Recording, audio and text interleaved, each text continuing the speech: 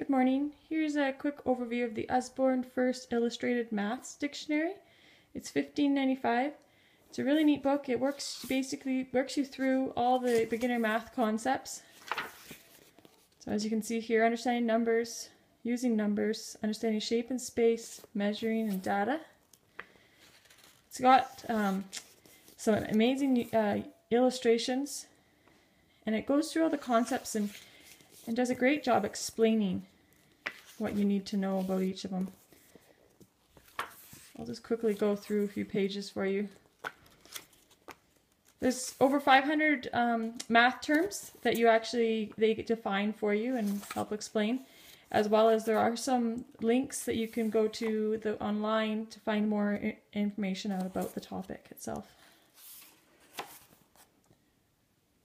Opposites.